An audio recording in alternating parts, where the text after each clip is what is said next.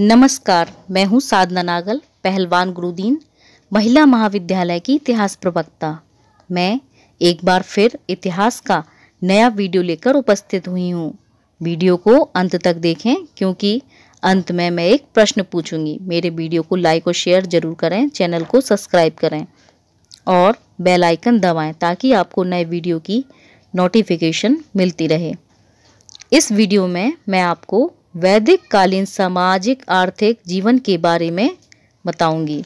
वैदिक कालीन सिंधु घाटी सभ्यता के पश्चात भारत में जिस नवीन सभ्यता का विकास हुआ, उसे ही आर्य अथवा वैदिक सभ्यता के नाम से जाना जाता है।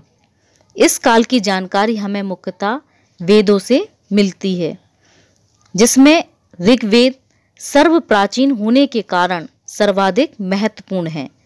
वैदिक काल को ऋग वैदिक या पूर्व वैदिक काल के नाम से भी जाना जाता है।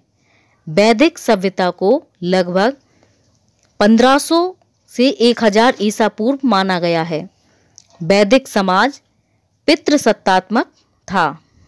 वैदिक काल के उत्तरार्ध में भारत और कुरु साम्राज्य के रूढ़ीवादी यज्ञ अनुष्ठान के लिए एक जटिल सामाजिक भेदभाव के उद्भव की विशेषता थी।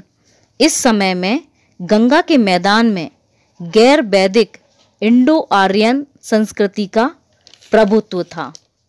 वैदिक काल में सामाजिक वर्ग वर्णानुक्रम था, जो प्रभावशाली रहा। वैदिक धर्म यज्ञ परक था तथा इस काल की वर्ण व्यवस्था कार्यानुसार थी। वैदिक कालीन सामाजिक स्थिति ऋग्वेद के दसवें मंडल में चार वर्णों का उल्लेख मिलता है। वर्ण व्यवस्था, कर्म पर आधारित थी। दसवें मंडल को परवर्ती काल माना जाता है। समाज पितृसत्तात्मक था, संयुक्त परिवार प्रथा प्रचलित थी। परिवार का मुखिया कुलप कहलाता था। परिवार का कुल कहलाता था। कई कुल मिलकर ग्राम, कई ग्राम मिलकर विश्व कई विश्व मिलकर जन एवं कई जन मिलकर जनपद बनते थे। अतिथि सत्कार की परंपरा का सबसे ज़्यादा महत्व था। भिखारियों और कृषि दासों का अस्तित्व नहीं था। संपत्ति की इकाई गाय थी, जो विनिमय का माध्यम थी। सारथी और बड़ई समुदाय को विशेष सम्मान प्राप्त था। अस्य प्रश्यता सती प्रथा, पर्दा प्रथा, बाल विवाह आदि का प्रचलन नहीं था। शिक्षा एवं वर चुनने का अधिकार महिलाओं को था। विधवा विवाह महिलाओं का उपनयन संस्कार, नियोग, गंधर्व एवं अंतर जातीय विवाह प्रचलित था। वस्त्र आभूषण, स्त्री एवं पुरुष दोनों ही, दोनों को प्रिय थे। जो मुख्य अनाज था, शाकाहार व सोम रस का प्रचलन था। नृत्य, संगीत, पासा, घुड़दौड़, मलयुद्ध आदि मनोरंजन के प्रमुख साधन थे।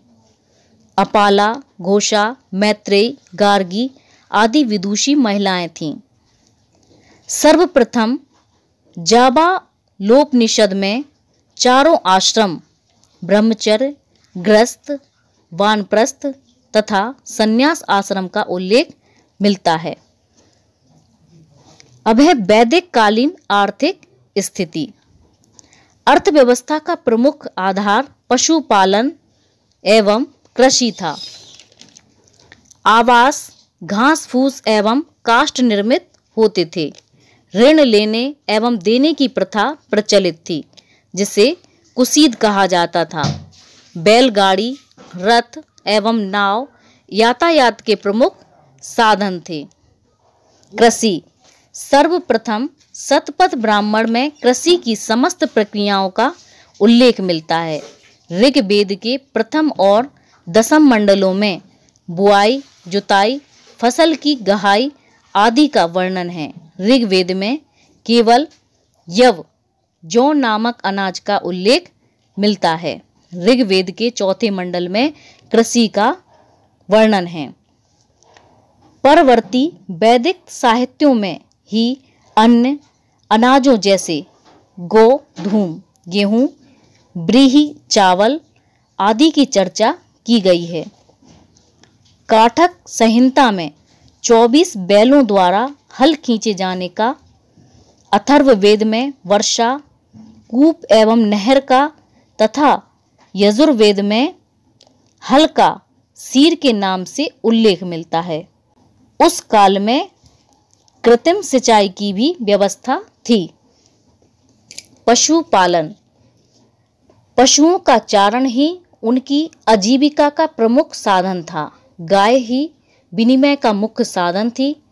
ऋग्वेदिक काल में भूमि, दान या व्यक्तिगत भू स्वामित्व की धारणा विकसित नहीं हुई थी। व्यापार। व्यापार अत्यंत सीमित था। व्यापार विनिमय पद्धति पर आधारित था। समाज का एक वर्ग पानी व्यापार किया करते थे। राजा को नियमित कर देने या भू राजस्व देने की प्रथा नहीं थी। राजा को स्वेच्छा से कुछ भाग या नजराना दिया जाता था। पराजित कबीला भी विजयी राजा को भेंट देता था।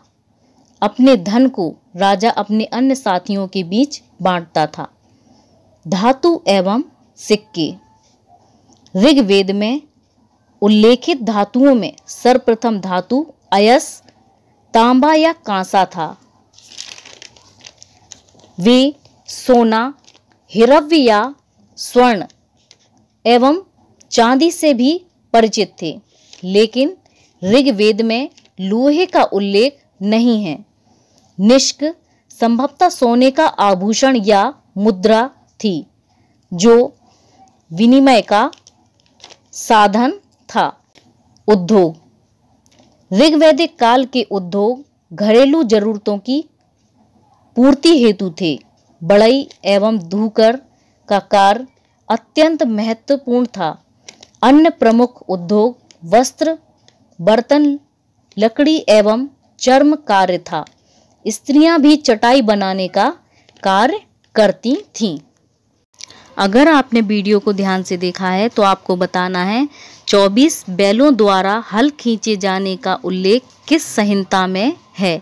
इसका उत्तर आपको कमेंट बॉक्स में लिखकर देना है।